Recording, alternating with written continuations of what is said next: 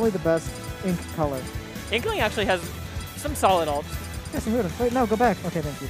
Toon Link is like, the colors are nice on the alts, but it's just like, It's boring. yeah.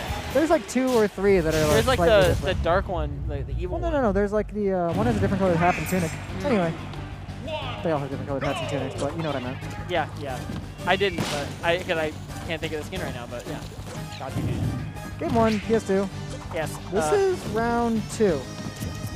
Yeah, I think it's round two. This is round two because I would be round three. Um, Maybe he's counting round one as like a buy round though, because I know there were like a couple. No, I think it's still round two. it's still round two. Anyway, Either way, Jade's off to a, a good first 25 seconds, but you know. yeah, and immediately went for uh, like a little drop down back air, I think it was, or drop down down air. That's what we were talking about earlier, is that like Toon Link is exploitable off stage. Maybe Yep. the other ones are a little more difficult to pin down, but Toon Link's pretty vulnerable out there. Definitely, yeah. Ooh, good air dodge. And yeah, each. Ooh, that was a dangerous option. Gonna get the jab. I feel like he could have held that a little longer, but I'm not the Inkling man. Maybe he wants to keep inking, you know? Oh, you're smart, yeah. That up air is such a good juggle tool. Lingers forever. And we already see that roller coming in. Do you think it would kill like about now? I mean, I, I trust that it would, you know. Maybe, yeah. Like if he's going for it, The Inkling Man is looking for it. I believe them. especially if they don't get a good mash off. Like Yeah. nice, nice cover on reaction. roll. Yeah. Now he is inkless. He does need to go. Okay, Yeah. well, gets the stock, so he will get his ink back. Yeah, the offstage interactions in this game have already been like a huge part of it. As I guess we we projected. Yeah. And this might be a matchup where it's a little annoying to get ink during the uh, while your opponent is like on stage with you because Yeah. Toon Link can throw so many things at you. But At the same time, Toon Link's also pretty slow at like setting his stuff up. Yeah. Like if he runs away, picks up a bomb, you can you, You can throw some ink. And yeah, this is really good ledge pressure. another thing. I mean, Toon Link isn't the greatest at killing, so uh, I'm not super surprised that once Colorado took that first stock, he's kind of running away with it. Like Toon Link wants the bomb confirms, maybe like an up smash on like a, a poorly spaced or timed aerial on shield, uh, maybe like an F tilt at ledge, but that won't kill now. Could, uh, I was gonna say, could have been something there. Up Going B for can up probably kill near ledge. Back- will probably back kill row, pretty kill solidly yeah. from most of the screen right now. But he's got to worry about not losing his stock first because Yeah. In a bad spot. 118. Ooh, nice. Like that wave bounce, I think. All with it, I love that there's just zero concern about having ink at all. Yeah, he's just hitting him. Just knows, like, okay, if I can outbox him, we're fine. And even if Colorado loses this stock, you get your ink back, you know? Like, you feel pretty fine. Up throw, that will kill. Yeah. I kind of forgot about that, not gonna lie. I did too until I saw him, like, grab was yeah, yeah, right. Like, it felt right. And we'll see if Jade can hold on to the stock a little bit longer. Like, he's already reached the, like, past the hard to kill percent. Like, now he's just at most moves will kill. Yeah, Yeah, especially if you're that back air. Some really great uh, edge guarding from Colorado.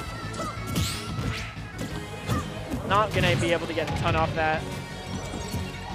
Like I feel like those up tilt strings are not super great in terms of like true combos. It's just like the mix-ups you can get off it. Yeah. Potentially really Or if it's a character that's kind of floatier Yeah. and gets stuck up there, that could be a problem. Or fast follower. Or a fast follower that just like you get him at, at the right percent. And Colorado, yeah, running away with this. Looking for a roller, but not going to get it. I mean, this is probably a matchup where you're not going to get very many because Yep. your opponent's just spending so much time away from you, but has enough to go for another one. And yeah, that'll, that'll do do it. instead. No jump. Yeah, and a down air into the blast zone. Yeah, that started off looking not too bad, but I mean that's how a lot of matches go. Like the first stock stays pretty close. Uh, one player gets the first stock, and you know it's, it's hard to kill in this game. Yeah. If, if you're not a character with like kill confirms built in, if you don't have like a, an, an up throw up air or an up throw back air or an up tilt back air or a jab back air, something into back air, you're probably not killing incredibly early.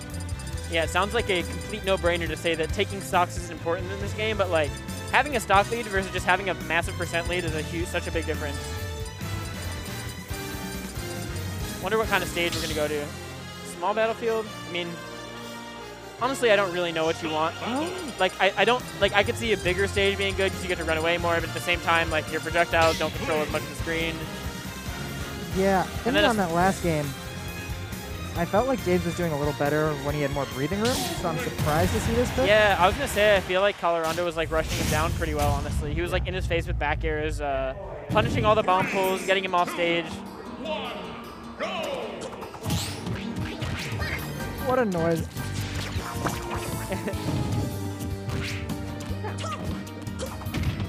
yeah, this going about how we thought it would. I mean, you're, you're just stuck next to him the whole time now. Yeah.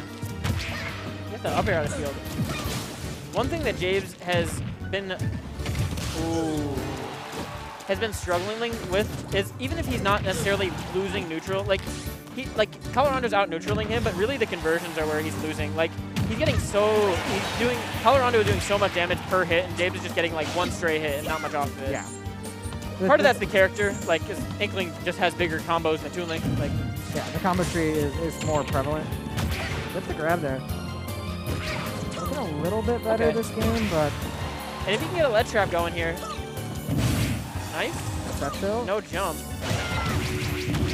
I like that. I like that idea, but it Could have done it the other he way, maybe. to do it yeah. the other way. Well, I, it might not hit because Yeah, yeah, like the first hit is far to out. scoop, you know. yeah. Florida's gonna take it, but not a bad deficit. Definitely not as bad as when we saw game one. Yeah, definitely brought some life to this game. Was was starting off the game a little uh, a little lifeless, but ooh, gets the parry, but no punish. Went for an up smash there, yeah. kind of getting greedy. And you're seeing a lot of grabs on the platform as well from Jabes. Yeah, and this is where close games become uh, difficult leads to over overcome. He is completely pink right now. Yeah, anything's gonna hurt. It's gonna do like 14, 15%. Throws the bomb up, gets punished for it. Pulls a bomb, but uh, or no, he didn't pull a bomb. What a good reaction. Yep, he's been really good with those down smashes. Yeah. And they, I mean, they've been doing a ton of work. Okay. You lose that stock, but if you're Colorado, I don't think you, you mind I very mean, you're much. up, you're up a full stock, and Toon Link isn't like the, the craziest of comeback characters. He can be difficult to kill, but that's really all he has going for him in terms of comeback factor. Yeah, not gonna like deal 70 and start running away with this by any means. He's not gonna. I mean, maybe he spikes you through the stage. Like that's the one way he can take an early stock. Other than that, you know, you're you're chilling if you put yourself out of that position.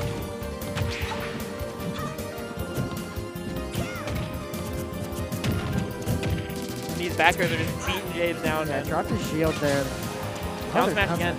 It's just such a good option. It covers the neutral getup, it covers the roll, and that's that's a lot As of things. as long as you have good timing, you know, you're set. And like if like it can probably cover jump sometimes too, and it's not like you're getting punished for it. Like it's it's not a move with a lot of lag. Yeah. Weird edge guard attempt. I think you just kind of chased him off stage a little carelessly, but you know he was up so much that it doesn't long. matter. And now you're at the point where any roller's gonna kill you. Yeah. That's gonna kill you. Tried and true. And we see we saw a lot of those. Actually, like everyone stopping and watching. Yeah, I mean, I, I feel like at that point you got to mix it up if you're Jabes, like with those, because he was either neutral get getuping or like those were his almost his two exclusive ledge options, and like whether you stay on the ledge a little longer because he wasn't spacing it to cover uh, ledge hang, or or just try to jump. Uh, you you got to be able to get around those down smashes. Like I, I don't know, going into a, a match, you have to know like what your opponent's major tool to keep you on ledge or to mess with you is, and I have another. So we were talking about